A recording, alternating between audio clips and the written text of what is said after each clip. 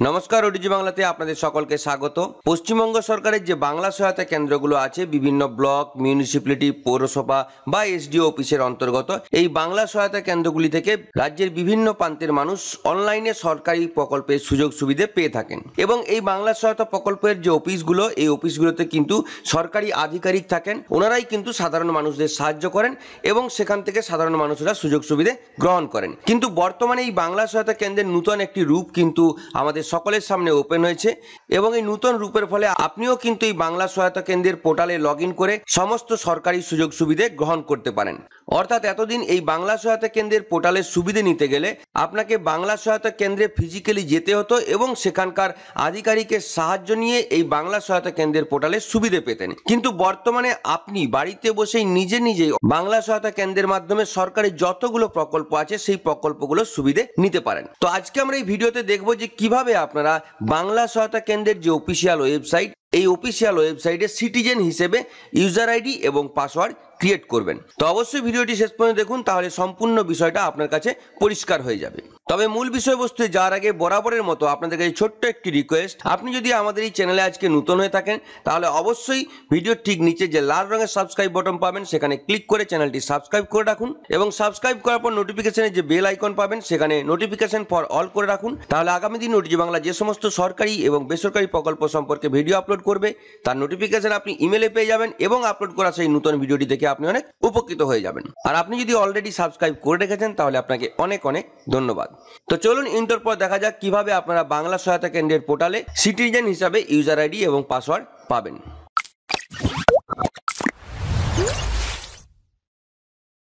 তো আপনারা প্রথমে ডেসক্রিপশনে দেওয়া লিঙ্কে ক্লিক করে সরাসরি এই পেজটাতে চলে আসবেন, অর্থাৎ বাংলা সহায়তা কেন্দ্রের যে পোর্টাল অফিসিয়াল পোর্টাল সেই পোর্টালে চলে আসবেন। এছাড়াও আপনারা ডাইরেক্ট এই ইউআরএলটা টাইপ করেও কিন্তু বাংলা সহায়তা কেন্দ্রের যে অফিসিয়াল পোর্টাল সেখানে চলে আসতে পারেন। BSK dot WB dot gov dot in এই পোর্টালটাতে আপনারা চলে আসবেন। এবং এখানে আসার পর দেখুন একদম, আপনারা এটা মোবাইল থেকেও করতে পারেন বা কম্পিউটার থেকেও করতে পারেন। তো আমি এই মুহূর্তে যেহেতু ভিডিওটা কম্পিউটার থেকে করছি, ওই জন্য আমি কম্পিউটার থেকেই দেখিয়ে দিচ্ছি। দেখুন এই যে লগ ইন বটম আছে, এই লগ ইন বটমে আপনারা করবেন এবং লগ ইন বটমে ক্লিক করার পর আপনার কাছে দুটো অপশন চলে আসবে অফিসিয়াল লগ এবং সিটিজেন লগ আপনি যদি বাংলা সহায়তা কেন্দ্রের অফিসিয়াল হয়ে থাকেন, তাহলে আপনি অফিসিয়াল লগ ক্লিক করবেন এবং আপনাকে দেওয়া নির্দিষ্ট ইউজার আইডি এবং পাসওয়ার্ড দিয়ে এই পোর্টালে লগ করবেন। আর আপনি যদি সিটিজেন হয়ে থাকেন, অর্থাৎ সাধারণ জনগণ কিংবা কোনো কম্পিউটার সেন্টার বা কিংবা সাইবার ক্যাফে যদি আপনারা এই সুবিধে পাবলিককে দিতে চান বা নিজে নিতে চান, সেক্ষেত্রে আপনি সিটিজেন লগ ক্লিক করবেন এবং ক্লিক করার পর আপনার কাছে এই পেজটা কিন্তু চলে আসবে। এবং এই পেজটাতে আসার পর দেখুন, এখানে enter your register mobile number এবং পাসওয়ার্ড চা হচ্ছে। তো আপনার যখন ইউজার আইডি ক্রিয়েট হয়ে যাবে, তখন কিন্তু আপনি আপনার মোবাইল নাম্বার এবং আপনার যে পাসওয়ার্ড সেটা দিয়ে এখানে লগ করতে পারবেন। কিন্তু প্রাথমিক অবস্থায় আপনাকে যেটা করতে হবে, এই যে দেখুন লগ ইনের ঠিক পাশেই নিউ ইউজার রেজিস্টার হিয়ার এখানটাতে আপনারা ক্লিক করবেন। তো আমিও ক্লিক করে দিলাম।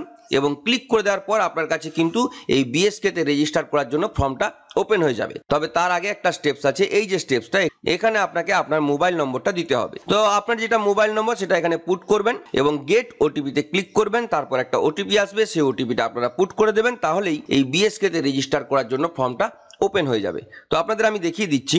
তো দেখুন, এখানে আমি আমার মোবাইল নম্বরটা দিয়েছি এবং গেট ওটিপিতে ক্লিক করছি।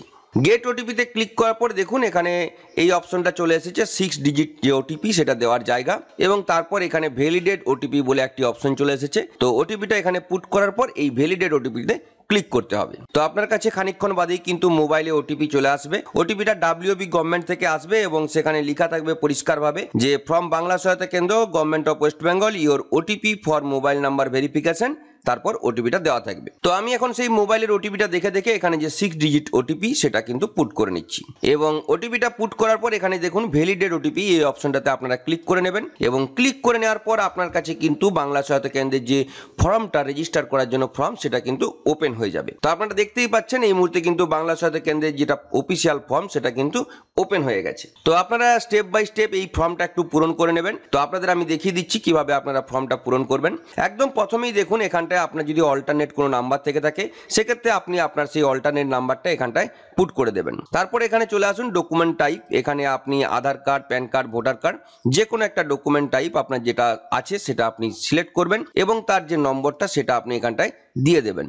তারপর এখানে আপনি আপনার ইমেল আইডি দেবেন এবং এই ইমেল আইডি দেওয়ার পর এখানে আপনার নাম দেবেন, এটা সিটিজেন নেম এবং আপনার ফাদার বা গার্ডিয়ান নেম যেটা হবে সেটা এখানটায় দেবেন। তারপর এখান থেকে আপনি আপনার ডিস্ট্রিক্ট সিলেক্ট করবেন, আপনার যে ডিস্ট্রিক্ট সেই ডিস্ট্রিক্ট সিলেক্ট করবেন। তারপর এখান থেকে আপনার ব্লক বা মিউনিসিপ্যালিটি সিলেক্ট করবেন এবং এখান থেকে পোস্ট অফিস সিলেক্ট করবেন, তারপর এখান থেকে পুলিশ স্টেশন তারপর এখান থেকে আপনার হাউস নম্বর ওয়ার্ড নম্বর বা ভিলেজ পাড়া যেটা আপনার ক্ষেত্রে প্রযোজ্য হবে, সেটা আপনি এখানটা দিয়ে দেবেন। তারপর এখানে আপনি আপনার জেন্ডার সিলেক্ট করবেন এবং এখানে আপনার ডেট অফ বার্থ সিলেক্ট করবেন। তারপর এখানে আপনার এজ এবং তারপর আপনার এসসি এসটি ওবিসি জেনারেল বা ওবিসি এ বি যেটা আপনার ক্ষেত্রে প্রযোজ্য হবে সেটা।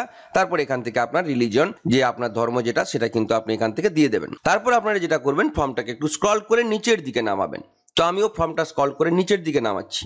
দেখুন, ফর্মটা স্কল করে নিচের দিকে নামাবার পর এখানে আপনাকে দুটো অপশন দেওয়া হচ্ছে। যেটা হচ্ছে password to log in into BSK এবং কনফার্ম পাসওয়ার্ড তো আপনারা যখন বিএসকে যে পোর্টাল সেই পোর্টালে লগ করবেন, আপনার মোবাইল নাম্বারটাই কিন্তু আপনার ইউজার নেম এবং পাসওয়ার্ড হবে, আপনি এখানে যেটা সেট করবেন, সেটাই কিন্তু প্রাথমিক অবস্থায় পাসওয়ার্ড হবে। আপনি যদি পরবর্তীকালে চেঞ্জ করে নেন, সেটা আলাদা ব্যাপার আদারওয়াইজ কিন্তু আপনার এটাই পাসওয়ার্ড হবে। অর্থাৎ আপনারা যখন এই পাসওয়ার্ডটা সেট করবেন, সেই পাসওয়ার্ডটা সেট করার সময় খুব সচেতন থাকবেন এবং প্রয়োজন হলে এটা কিন্তু লিখে রেখে দেবেন। এবং এই পাসওয়ার্ডের যে কম্বিনেশন হবে, এটা করতে গিয়ে আপনাদের অনেকের সমস্যা হয়, তার জন্য একটু ভেঙে বলে দিচ্ছি। তো দেখুন, এখানে পরিষ্কারভাবে লেখা আছে মিনিমাম সিক্স ক্যারেক্টার অর্থাৎ কমপক্ষে ছটা ক্যারেক্টার কিন্তু হতেই হবে। এবং কম্বিনেশন থাকতে হবে কিসের কিসের?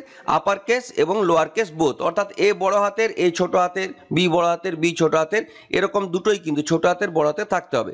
এবং স্পেশাল ক্যারেক্টার থাকতে হবে star at the rate hash এগুলো, এবং নাম্বার থাকতে হবে, এক, দুই, তিন, চার পাঁচ তো এইগুলো সব মিলিয়ে কিন্তু আপনাকে পাসওয়ার্ডটা তৈরি করতে হবে। তো যখন আপনার পাসওয়ার্ড তৈরি হয়ে যাবে, তখন আপনি এখানটায় পুট করবেন এবং সেম পাসওয়ার্ডটা এখানটায় পুট করবেন। এবং সমস্ত কিছু যখন হয়ে যাবে, তখন আপনাকে এই সাবমিট বটমে ক্লিক করতে হবে। তো আমি এখন এই সম্পূর্ণ ফর্মটা পূরণ করে এই সাবমিট বটমে ক্লিক করে আপনাদের দেখিয়ে দিচ্ছি।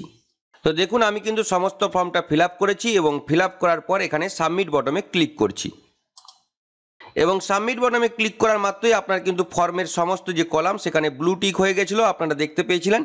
এবং তারপর আপনার কাছে বিএসকের যে পোর্টাল সেই পোর্টালে কিন্তু লগ হয়ে গেছে। এবং এখানে দেখুন লগ ইন অ্যাজ আমার নাম এবং phone number log in ID যেটা, সেটা কিন্তু এখানে দেখাচ্ছে। এবং আপনার সামনে সমস্ত সার্ভিসগুলো কিন্তু এখানে দেখা যাচ্ছে। তো এখানে দেখুন, অনেকগুলো অপশন আছে। এখান থেকে আপনি ইচ্ছে করলে যে চেঞ্জ পাসওয়ার্ড অর্থাৎ আপনি এই মুহূর্তে যে পাসওয়ার্ডটা দিলেন, সেটা কিন্তু চেঞ্জও করে নিতে পারবেন। এবং এখান থেকে আপনি যে সার্ভিসটা চাইবেন, সেই সার্ভিসটা কিন্তু সার্চও করে নিতে পারবেন। যেমন আমি এখন যদি কৃষক বন্ধু করি, দেখুন কে আর আই এস করে সার্চ করলাম এবং এখান থেকে কৃষক বন্ধু স্কিম, এই স্কিমটা কিন্তু চলে এসেছে। তো এখানে ক্লিক করলাম এবং ক্লিক করার পরে এই মুহূর্তে হয়তো কিছু প্রবলেম আছে, তো এখান থেকে কিন্তু আপনারা কাজটা করতে পারবেন। আরও একটা স্কিম আমরা এখান থেকে সার্চ করতে পারি, যেমন হচ্ছে যুবশ্রী।